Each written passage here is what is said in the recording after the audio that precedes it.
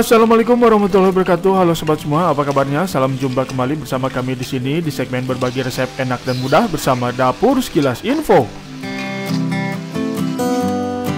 Oke, untuk resep yang akan kita share di kesempatan kali ini, kembali kita akan men-share satu lagi resep masakan rumahan yang sayang banget untuk dilewatkan. Yang admin yakin sahabat semua pasti akan sangat menyukainya. Dan nama resepnya adalah oseng-oseng tempe basah, resep masakan rumahan yang simpel tapi enak sekali rasanya dan pastinya akan menambah selera makan sahabat dapur sekelas info semua. Namun sebelum kita mulai videonya, saya admin Dapur Info mengajak sahabat semua yang belum subscribe untuk mensupport kami dengan mengklik tombol subscribe-nya karena subscribe yang sahabat berikan adalah motivasi bagi kami untuk memberikan konten-konten berkualitas lainnya. Dan jangan lupa juga aktifkan juga notifikasi loncengnya supaya tidak ketinggalan jika ada update terbaru dari kami di kemudian hari. Oke kalau begitu tak perlu panjang lebar lagi, berikut tutorialnya.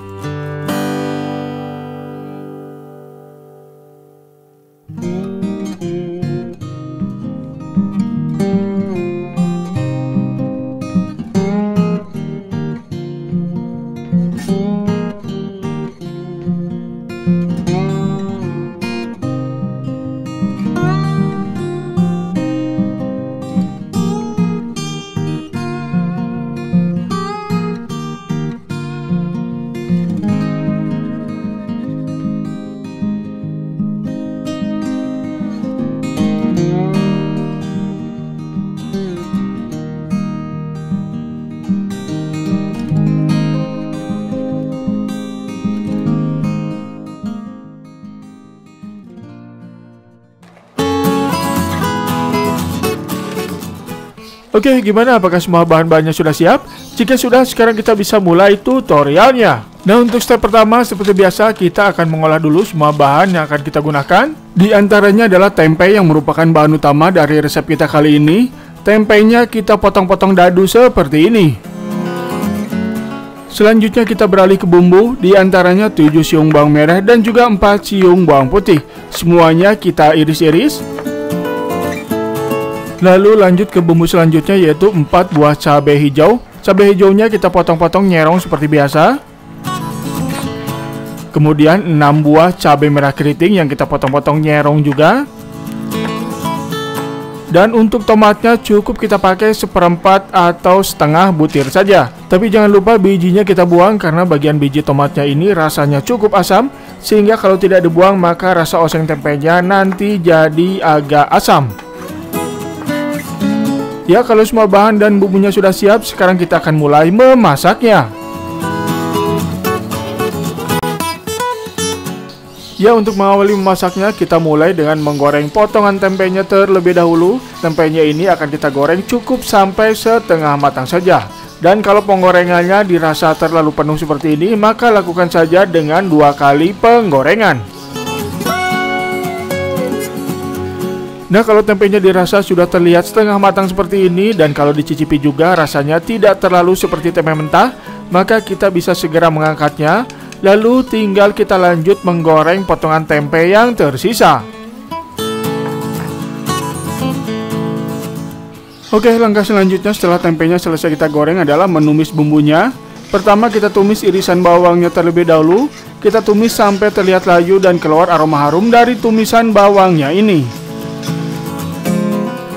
Ya setelah bawangnya terlihat layu dan wangi Sekarang tinggal kita masukkan bahan bumbu yang lainnya Seperti potongan cabai, tomat, satu lembar daun salam Satu iris laja atau lengkuas Satu iris jahe Lalu 2 sendok makan irisan gula merah. Selanjutnya untuk garam kita tambahkan saja dulu setengah sendok teh. Tapi nanti kalau masih dirasa kurang asin Maka kita bisa menambahkannya kembali sesuai dengan selera masing-masing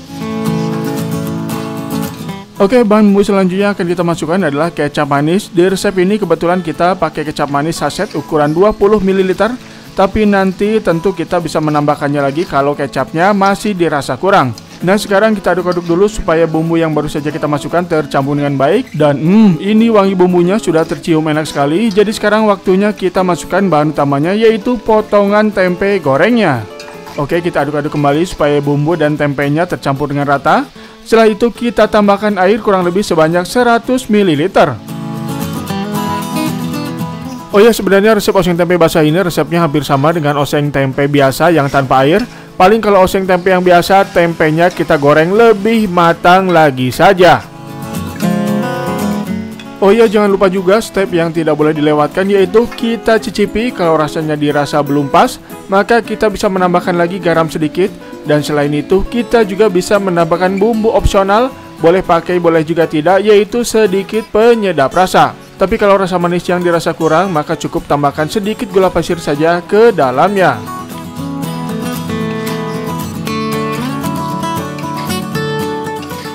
Nah, kalau rasanya sudah pas, maka kita tinggal tutup dan kita diamkan beberapa menit supaya bumbunya meresap dan supaya tempenya menjadi lebih matang.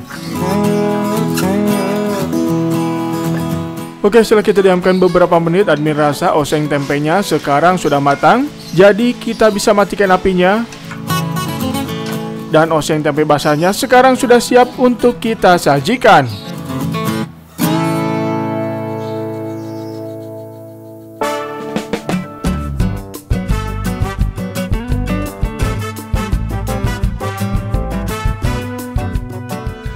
Oke ini dia resep kita untuk kesempatan kali ini yaitu oseng tempe basahnya sudah jadi.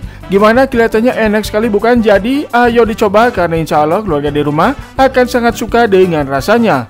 Oke kalau begitu sampai di sini dulu tutorial kita di kesempatan kali ini. Semoga ada guna dan manfaatnya. Dan jangan lupa coba juga resep populer oseng-oseng lainnya yang sudah pernah kita share juga videonya Seperti oseng-oseng kikil pedas Oseng-oseng pindang tongkol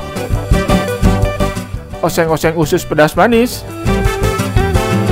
dan oseng-oseng cumi daun tangkil. Dan jangan tanya bagaimana rasanya karena keluarga di rumah pasti akan suka juga dengan rasanya. Oke kalau begitu sampai di sini dulu tutorial kita kali ini. Akhir kata kami dari Dapur Sekolah Simpa mengucapkan terima kasih untuk sahabat semua yang sudah menonton.